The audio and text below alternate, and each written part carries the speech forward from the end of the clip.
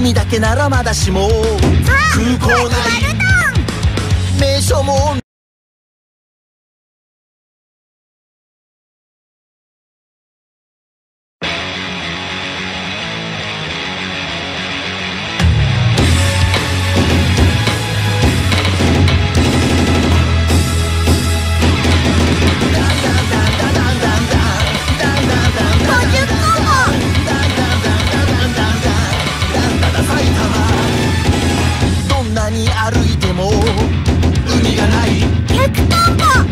けならまだしも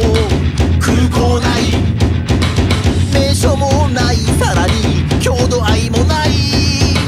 だけどアジア一でかい。団地があるダンダンダンダンダンダンダンダンダンダン埼玉埼玉の人はなぜかわからないが東京の人よ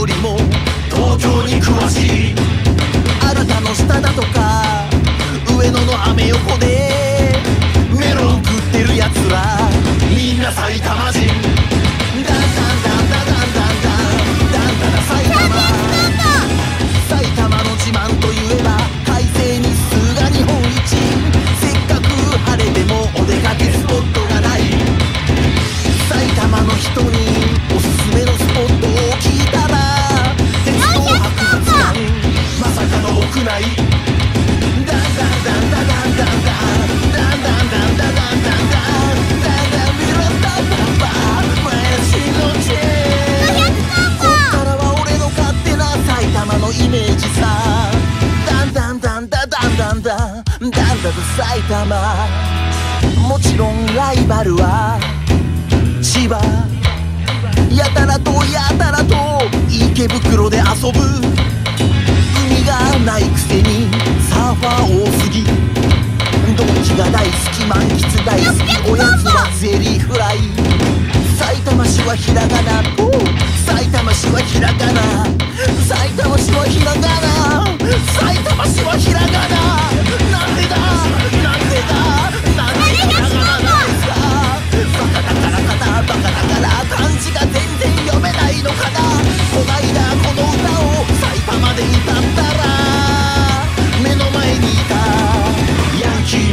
るだんだんだんだんだんだん青春熟成東都情勢僕のふるさとは佐賀県だけど実は生まれた場所は春日部だんだんだんだんだんだんだんだから大好き埼玉